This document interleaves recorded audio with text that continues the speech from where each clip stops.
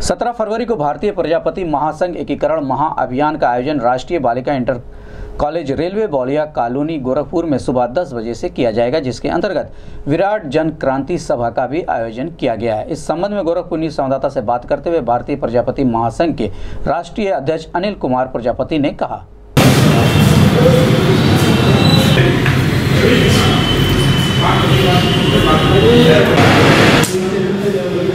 Anil Kumar Prajapati.